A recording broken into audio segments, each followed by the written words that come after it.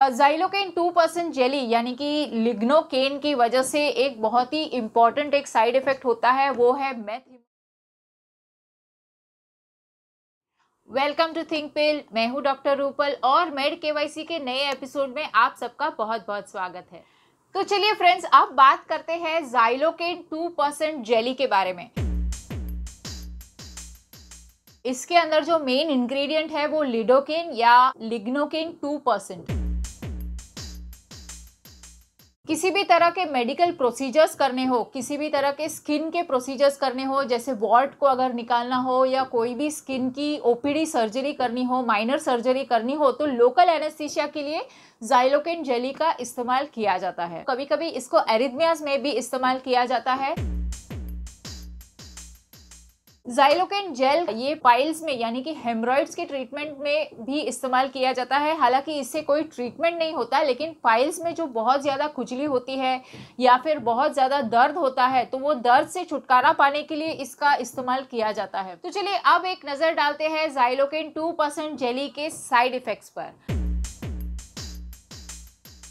सबसे पहला और सबसे इंपॉर्टेंट साइड इफ़ेक्ट जो जाइलोकेन जेली का हो सकता है, वो है एलर्जिक रिएक्शन आपको इसकी वजह से एलर्जी हो सकती है एलर्जिक रैश आ सकते हैं. एक सिवियर एलर्जिक रिएक्शन जिसको हम एनाफाइलेक्टिक शॉक कहते हैं, वो भी इससे हो सकता है. जाइलोकेन जेली की यूज़ की वजह से कभी कभी इन्फेक्शन की तरह भी महसूस होता है, जैसे कि फीवर जैसा महसूस हो सकता है, कपकपी सी लग सकती है, थोड़ा सा बॉडी पेन हो सकता है। जाइलोकेन टू परसेंट जेली को लंबे समय तक यूज़ किया जाए तो बॉडी में एसिडोसिस कहते हैं, जिसमें ब्लड में एसिड का लेवल बढ़ जाता है। ऐसी कंडीशन में कई बार पेशेंट को कंफ्यूजन हो जाता है फास्ट ब्रीदिंग हो जाता है, एकदम फास्ट हार्ट बीट हो जाती है। ऐसी हार्ट बीट हम लोग एरिदमिया बोलते हैं। जाइलोकेन टू परसेंट जेली यानी कि लिग्नोकेन की वजह से एक बहुत ही इंपॉर्टेंट एक साइड इफ़ेक्ट होता है, वो है मेथ हिमोग्लोबिनीमिया मेथ हेमोग्लोबिनीमिया के कंडीशन में ऐसा होता है कि ब्लूइश ग्रेश कलर हो जाता है स्किन का, खास करके लिप्स का, अपने नाखून का और चमड़ी का. इसके साथ साथ मेथ हिमोग्लोबिनीमिया में हार्ट बीट भी एबनॉर्मल हो जाती है. कभी कभी आकड़ी या फिट आने लगते हैं. पेशेंट बेहोशी से चक्कर आके गिर जाता है. बहुत ही सिवियर सर दर्द होता है. तो ये एक बहुत ही रेयर लेकिन बहुत ही डेडली साइड इफ़ेक्ट है। इसकी वजह से जान भी जा सकती है।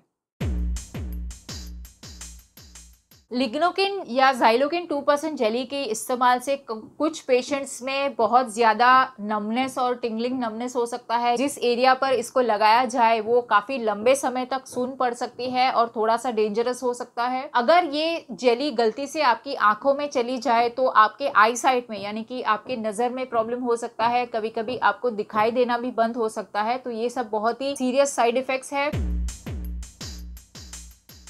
इसका और एक रेयर साइड इफ़ेक्ट है, वो है टिनिटस इसकी वजह से कभी कभी कानों में सीटी जैसी सुनाई देती है, जिसको हम लोग टिनिटस कहते हैं, वो भी हो सकता है।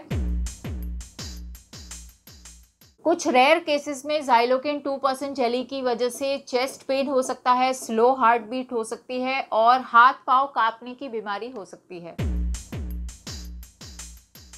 जाइलोकिन टू परसेंट जेली को प्रेगनेंसी में इस्तेमाल वैसे तो नहीं करना चाहिए, लेकिन डॉक्टर के सुपरविजन में कुछ छोटे से माइनर प्रोसीजर्स के लिए ये डेफिनेटली लोकल एनेस्थीशिया के लिए यूज़ किया जा सकता है, क्योंकि जैसे आप सभी जानते हो प्रेगनेंसी में जनरल एनेस्थीशिया यूज़ नहीं कर सकते।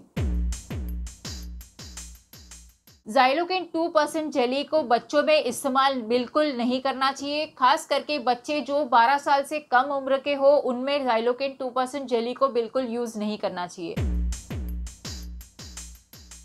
जाइलोकेन टू परसेंट जेली को एपिनेफ्रिन नाम की दवाई के साथ कभी इस्तेमाल नहीं करना चाहिए। उसके साथ सिवियर रिएक्शन हो सकता है। दूसरी एक दवाई की कैटेगरी होती है जो, जिसको हम कहते हैं मोनोअमाइन ऑक्सीडेज इनहिबिटर्स ये मेडिसिन अक्सर डिप्रेशन की ट्रीटमेंट में यूज़ की जाती है। तो इसके अलावा फिनोथाइजीन्स नाम की जो दवाई होती है, जो स्किजोफ्रेनिया के ट्रीटमेंट में यूज़ की जाती है, वो दवाई के साथ भी जाइलोकेन टू जेली रिएक्शन करता है। इसलिए इन दोनों दवाइयों को मिक्स नहीं करना चाहिए। दूसरी एक डिप्रेशन डिप्रेशन की दवाई है, जिसको हम कहते हैं ट्राईसाइक्लिक एंटी डिप्रेशन तो फ्रेंड्स ट्राईसाइक्लिक एंटी डिप्रेशन को भी इसके साथ इस्तेमाल नहीं करना चाहिए।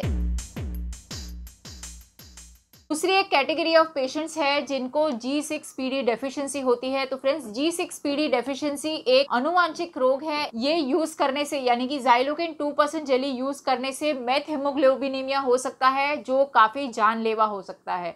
तो फ्रेंड्स इन दो मेडिकल कंडीशन में आपको जाइलोकिन टू परसेंट जेली को इस्तेमाल बिल्कुल भी नहीं करना चाहिए। तो आखिर में मैं ये कहना चाहूँगी कि किसी भी तरह की दवाई अगर आप इस्तेमाल कर रहे हो तो प्लीज़ अपने डॉक्टर को कंसल्ट कीजिए उसके बाद ही कोई भी दवाई का इस्तेमाल कीजिए।